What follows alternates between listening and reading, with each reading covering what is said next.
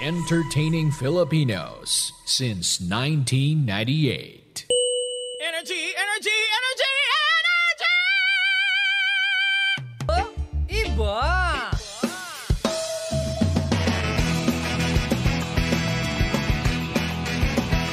Same, same. Pero iba. Energy FM.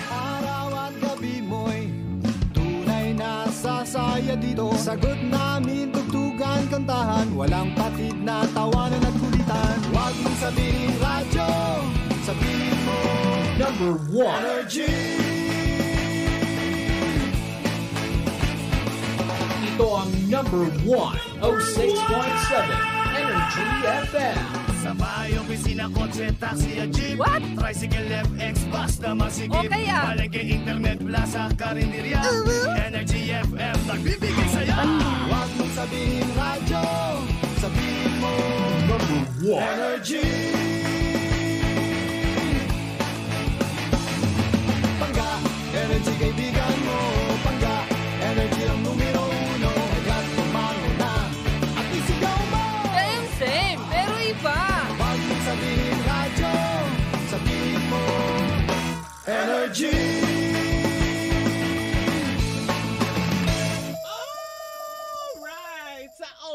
talaga, Thursday talaga ng umaga, hindi ba? Bakit? Ang saya-saya din alam mo ba, Mare? Oh. Ako may natikman akong inumin na talaga nga naman na nakatulong para maging energy ako today. Mag-energize. Ay, eto, oo, wala daw akong mic. Good morning sa inyo. Ay, ano ba yung inumin na gusto mong ano?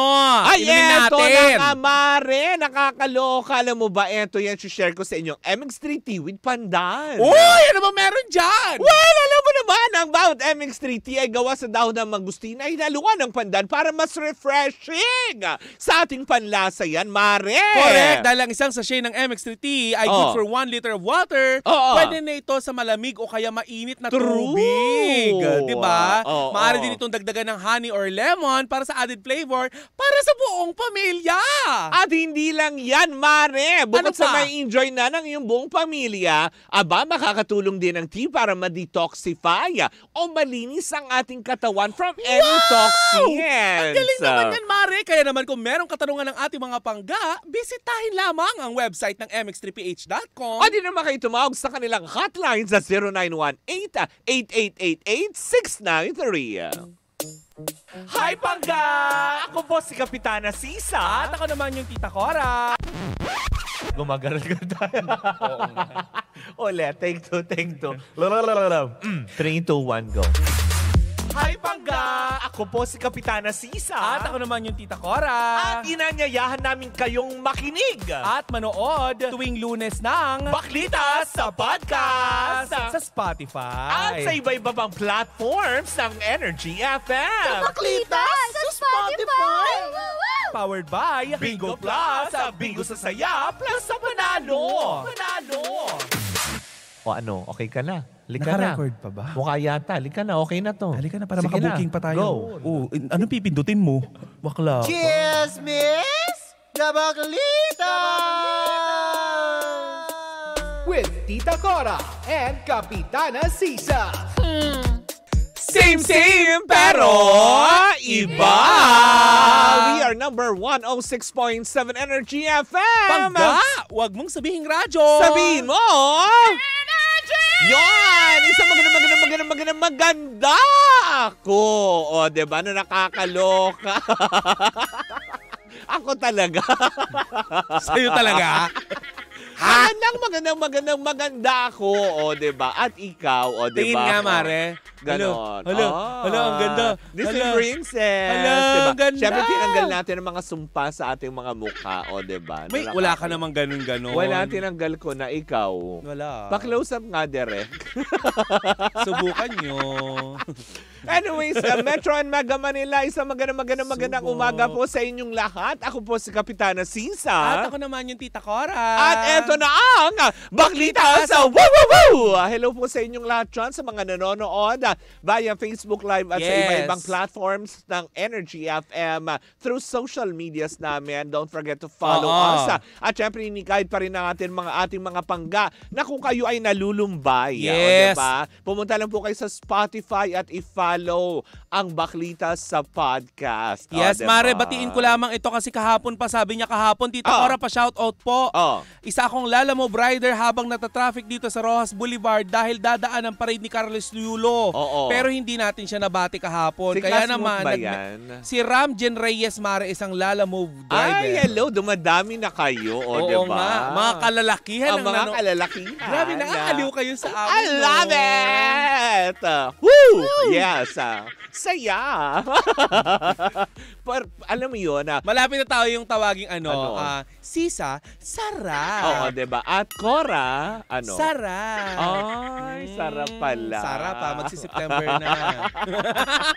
Truth, hindi ba na nakakaloka yan? ah? At syempre, nako, eto na, bago natin ibigay Oo. ang ating mga, ayan, ichichika for today's. ah, Ayan, binabati po natin ang lahat ng ating mga pangga, lalong-lalo ng ating mga drivers ah, na pumapasada at naghahanap buhay na ngayon. Mag-iingat po kayo kung saan man kayo patungo, ah, hindi ba? Sa mga naiipit sa daloy ng trafiko, Oo. ayan, ah, sa buong um, kamay nilaan. Ayan, Oo. magandang umaga po sa inyong lahat.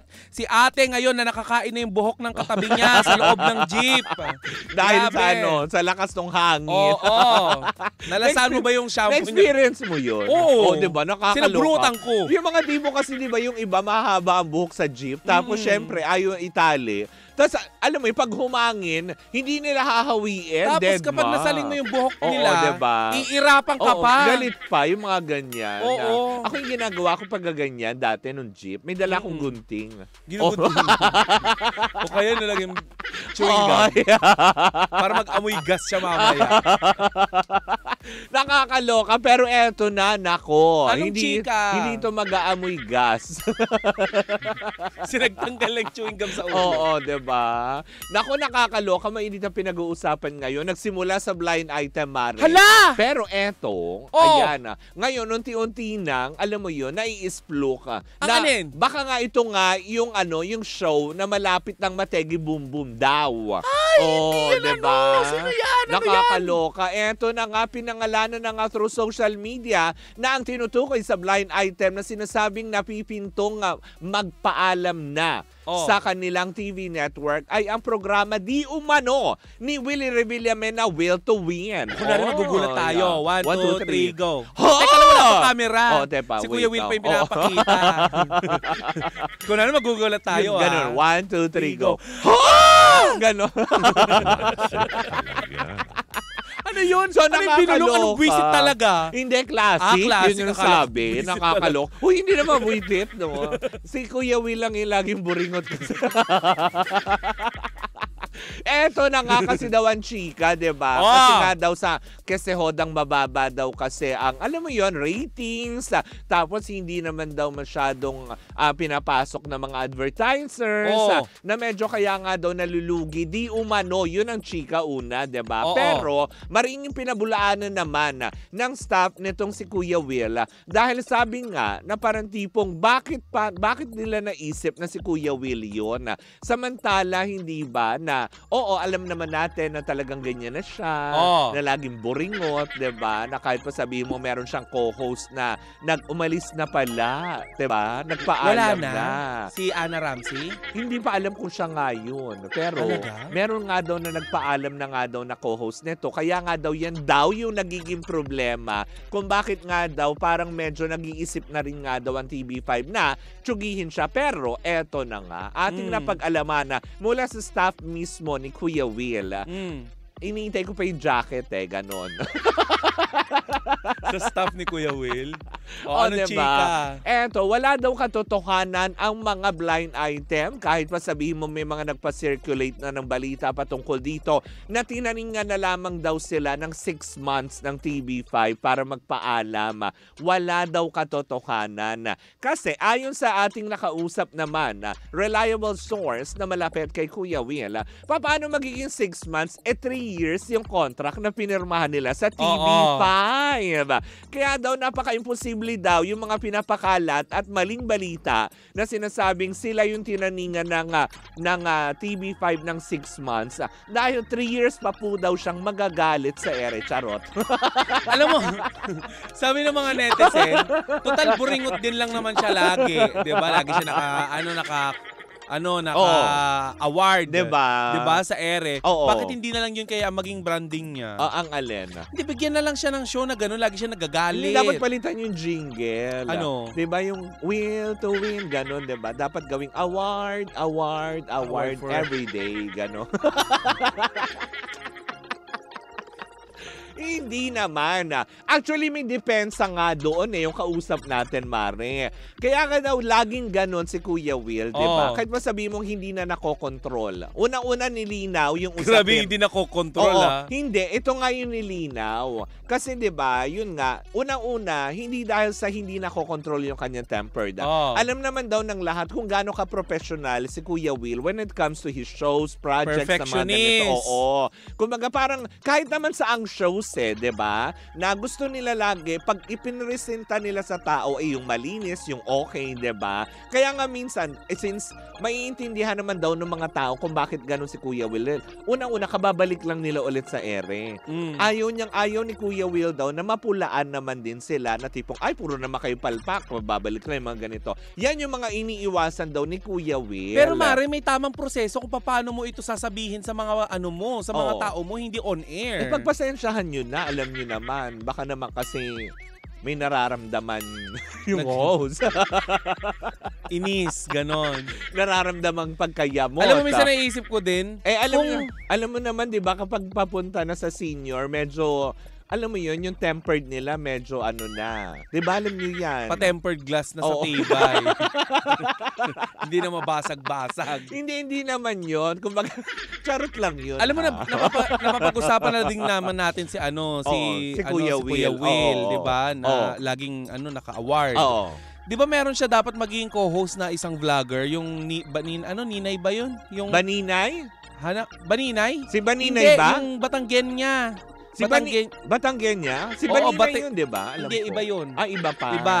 Maganda Oo. ito na ano na co-host niya sana. Oo. Alam mo ba na gusto daw yata siyang kunin noon? Oo. Talagang siya magiging co-host. Oo. Kasi hindi na tumuloy. Dahil? Kasi ang issue daw yata eh parang ayaw daw yata ni Kuya Will na may kasama sa ano dressing Oh? room. Talaga ba? Parang mga ganon. Diyos ko, sa lawak ba naman ng studio? Isa lang ang dressing room, di ba? May Kaya ibang nga. dressing room naman siguro. Kaya na nga. nakakaloka. Wala Pero- bang plus one dyan? Yung iba nga vlogger Oo. nagdadala ng plus one. Oo, kahit di naman diba? ano eh. Na Kaya tuloy hindi nakakapasok.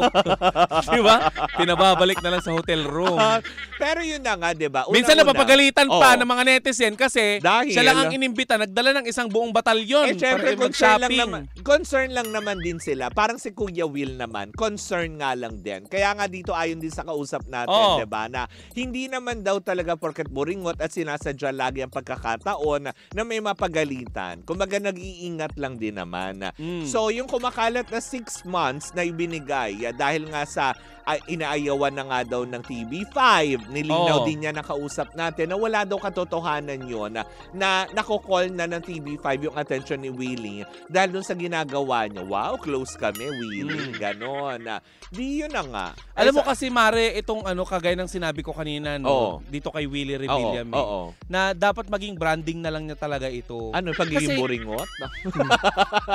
Hindi kasi marami namang host, 'di ba, na may may Oo. kakaibang branding pagdating sa ano. Oo. Sa ano, sa pag-host, Oo, 'di ba? oo. Kagaya na lamang ni ano ni Tony Ni- Gonzaga, 'di ba? Oo. Pinag-host dati ng Binibining Pilipinas Correct, pero di ba? Pinlay time niya. Playtime niya, Di ba yung mga di ba? ganun dapat? ah. Oh, dapat ganyan na lang si Kuya Will. Lagi siyang mag ano, magalit. Mag- 'Di ba?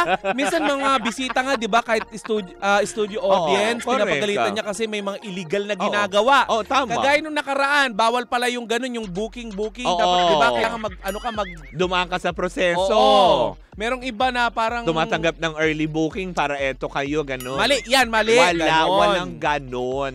Kaya nga naman sa sobrang pagka-perfectionist nga niya, dagdag pa ng ating kausap, nami-misinterpret na siya ng tao, ba? Pero wala naman daw ibang hiling si Kuya Will kung hindi magbigay ng kasiyahan sa mga tao Mm-mm. na talaga nga naman all over, kahit pa sabi mong saan siya pumuntang channel, eh sinusundan talaga siya ng kanyang mga taga-suporta. Kahit buringot nga siya, ganun. Naguguluhan lang Diba? Minsan kay Kuya Will, bigla niya pahihintuin yung tugtog. tapos kapag mamalaki niya yung LED floor nila, di ba, na parang siya lang ang pwedeng makagawa nun. Eh, di ba, Oh, siya nga lang talaga. pwede Diba? naman gawin yun ng iba, hindi lang talaga naisip na apakan yung LED. Hindi. Siya lang yung nakakagawa nun. Oo. Hindi yung pag-apak. Kasi ang face-to-face, may ganun din, LED Oo. floor sila eh. Oo, diba? Pero yung papatigilin ito, direct! Pero, Stop mo na din, i-focus mo to. Focus mo to, ang ganda oh. Ang, Focus mo ito. di ba, yung very Ang- titong nagyayabang ng Ang mga mahal ano, nito eh. Oo, Oo, di ba? oo, di- di yung tito mong pala flex. Tama, di ba? Eh, totoo naman, yung technology kasi, at least, di ba? Si Willie Revilla lang ang ano, ang host na mayabang na may ipagyayabang naman talaga. Totoo naman, Diba? Kaya nung sinabihan sila siya ni Nanay Christy na mayabang, naintindihan ko kasi sabi ko may pagyayabang naman talaga Meron kasi. naman talaga, di ba? Diba? May buildings, ilan ang resort, ilan ang kanyang mga assets, di ba? Diba? So, hindi totoo rin yung balita na tipong naghihirap na siya, yung mga Oo. ganyan. Imposible po. Pero Gaya sana, na sinabi ko, mauubusan tayo ng pera sa bulsa. Pero si Willie Revilla may hindi, di ba? Na nakakaloka. pero sana Mare matupad niya talaga yung pang- pangako niya dun sa bagets, ano, no? Yung ay, yung ipagpatapos. Feeling ko naman inaayos naman na siguro nila yan. Kasi di ba alam naman din natin na medyo nahinturi naman siguro talaga sila. At syempre, Mm-mm. bilang isang negosyo, nagkaroon din niya ng siguro kahit konting problema na talagang hindi lang din nila matutukan. But definitely si Kuya Will, pag nangako naman yan eh.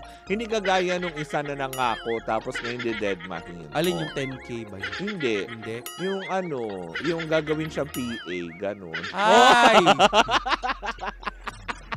Pero alam mo talaga, dapat talagang ganun ang gawin ni Kuya Will. Matupad niya sana yun. Oo. Kasi ano yun eh, di ba meron siyang mga tinutulong-tulungan Correct, din? may mga foundation siyang kusa, 'di ba? Mm-mm. Sama niyo na rin po kami sa listahan, Kaya Kuya nga, Will. enroll niyo po kami. Alam mo, Kuya Will, tuwing panghapon naman po yung programa niyo, kahit pagalitan niyo po kami ang baklitas. Ay, ikaw lang.